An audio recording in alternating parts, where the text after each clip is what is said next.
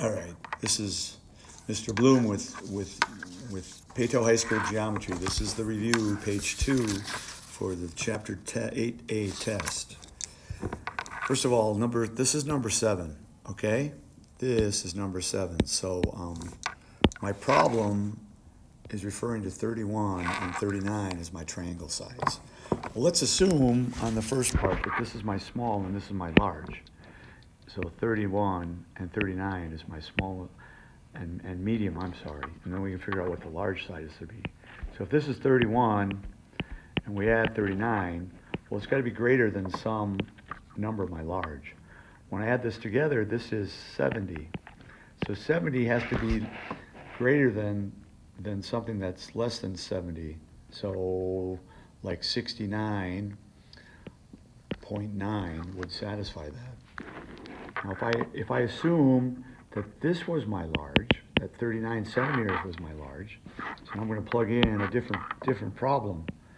If 39 is my large, and this, let's assume my 31 is my medium.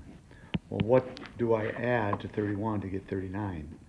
Well, that would be 8. So I have to have something greater than 8, and I have to have something less than 70, 69.9 is less than 70.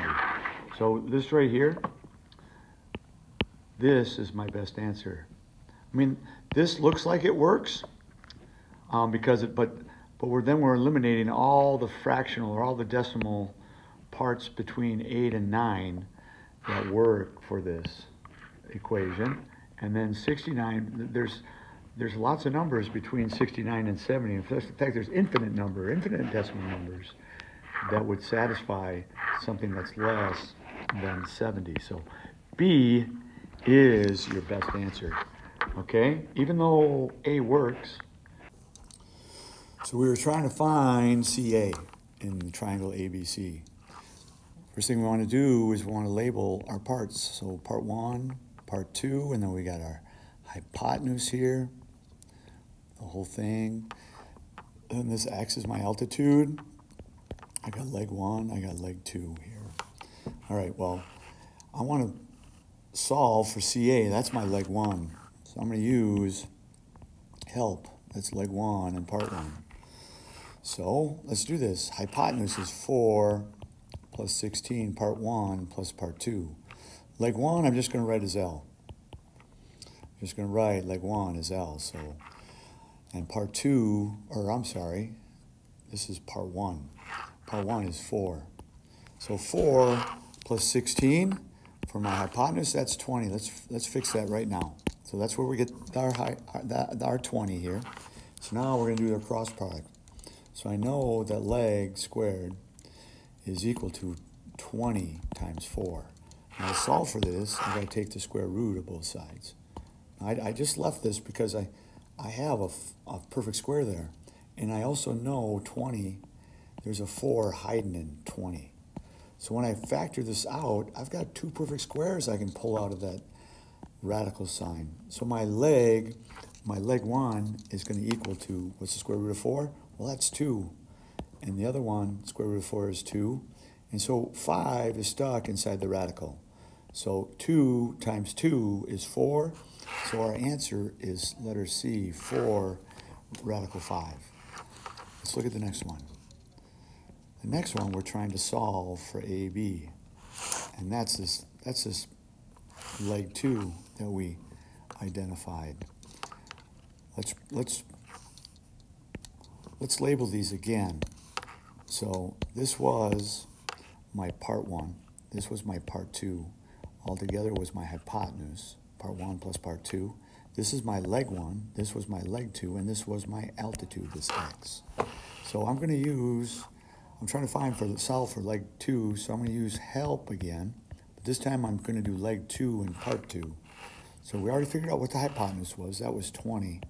So it's gonna be 20, again I'm gonna go just L for leg two, as L is to part two, 16. So now I do my cross product. So I know already that leg 2 is equal to the product, the square root of the product of 20 times 16. Because when I do the cross product of leg times leg, it's leg squared, and I have to take the square root of that product. I just left this because this 16 is a perfect square. And I know, again, that there's a 4 hiding in 20. Okay? We've got a perfect square, the number 4 hiding in 20. So let's simplify this. Well, the square root of 4 is 2. That comes outside the radical. Square root of 16 is 4, so that comes outside the radical. And then we have just square root 5 left. Well, let's do this product. 2 times 4 is 8. And so our answer is 8 square root 5. Let's do the next one. Number 10. Number 10, we're finding AB in this triangle. Well, AB is our short, short side. This is our short side, A, in our 30, 60, 90 triangle. So this is going to be half of our hypotenuse. Remember, our hypotenuse is, is 2a.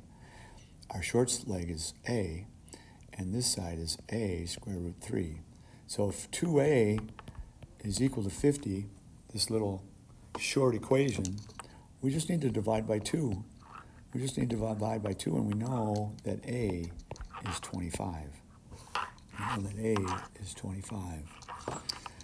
Number 11, do the lengths of 2.7, 4.3, and 3.1, do they make a triangle? Well, first thing you want to do, you want to label the small, medium, and large lengths. So this is my smallest, 3.1 is the next one, and this is my large. So now we got to put in our triangle inequality theorem statement.